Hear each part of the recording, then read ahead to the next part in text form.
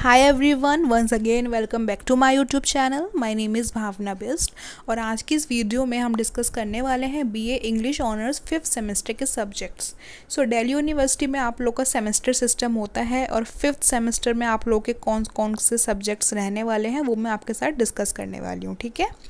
तो वीडियो को शुरू करते हैं और अगर आप आज चैनल पे पहली बार आए हैं तो प्लीज़ आप सभी सब्सक्राइब कर लीजिए। आपको मेरे चैनल पे दिल्ली यूनिवर्सिटी के सारे अपडेट्स मिलते रहते हैं, ठीक है? तो देख लेते हैं हम। और मैं पहले बता दूँ, आप चाहे डी रेगुलर कॉलेज से हो या फिर एस से हो या फिर एनसी वेब से हो, ठीक है, ये वीडियो सभी के लिए है। क्योंकि दिल्ली यूनिवर्सिटी में सिलेबस सब्जेक्ट पेपर वगैरह सब सेम होते हैं ओके सो देख लेते हैं कोर कोर्सेज कौन से हैं। अब ये ऑनर्स का सब्जेक्ट है। ऑनर्स का पेपर है सॉरी तो इसमें आपके कोर कोर्स होते हैं कोर पेपर होते हैं ऑनर्स के प्रोग्राम में।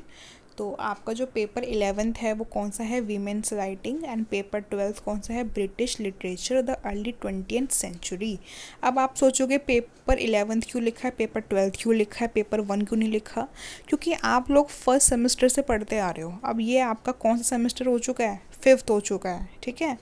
तो फ़र्स्ट सेमेस्टर में आपका पेपर वन था पेपर टू था, फिर आपके सब्जेक्ट्स बड़े होंगे, फिर सेमेस्टर टू में paper three paper four paper five ऐसे करते करते अब आपका ये पेपर इलेवेंथ हो चुका है, ठीक है? यानी कि आपने अभी तक इंग्लिश में, आपने अभी तक अपने इंग्लिश ऑनर्स के टेन पेपर पढ़ लिए हैं मेन पेपर्स की बात कर रहे हैं। अभी आपका पेपर इलेवेंथ कौन सा है?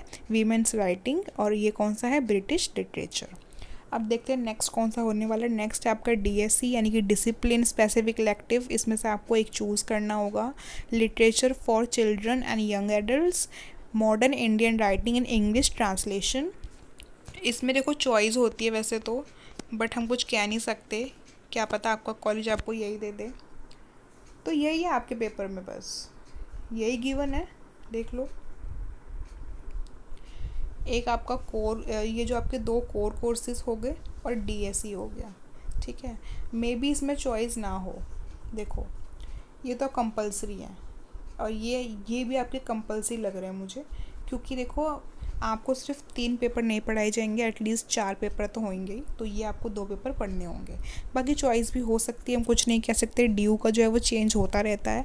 मेन आपको देखना है अपने मेन पेपर्स तो आपके मेन पेपर कौन से हैं? Paper eleven and paper twelfth जो मैंने आपको बता दिए हैं, ठीक है? इस वीडियो को लाइक कर दीजिए, अगर अपने फ्रेंड्स के साथ शेयर कर दीजिए ओके और आप सभी बच्चे टेलीग्राम ग्रुप को ज्वाइन कर लीजिए। आप मुझे इंस्टाग्राम पे फॉलो कर सकते हैं। इस वीडियो में सिर्फ़ इतना ही।